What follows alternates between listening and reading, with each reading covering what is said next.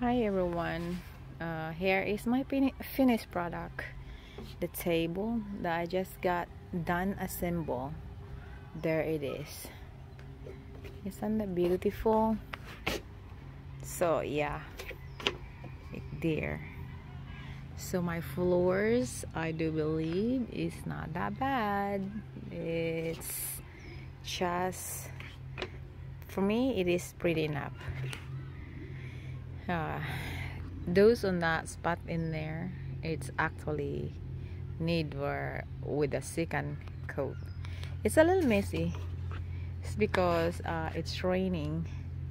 And then my puppy my dog it's kind of like going in and out. And then walk around in here. So it's a little messy. So yeah uh, this is what I have over here. Uh, hard work pays off. So this is what I'm gonna be enjoying it. I'll be happy sitting down in here and just kind of like relax. And I'm happy that I'm capable of doing all of those type of work. So all right just to share a simple life of mine uh, here in America